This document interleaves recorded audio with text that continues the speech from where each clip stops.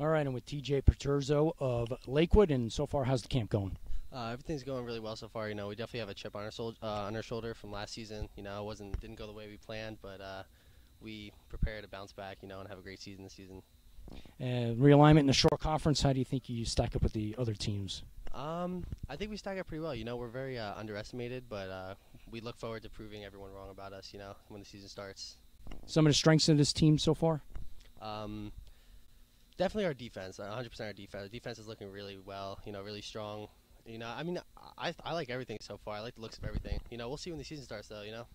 And some some things uh, you, your team might have to work on. Uh, definitely our line, our blocking. You know, I feel like we need definitely need to work on that. But you know, everything will straighten out by the first game. I feel like not very worried. And final question: uh, Coach has been emphasizing the conditioning and execution.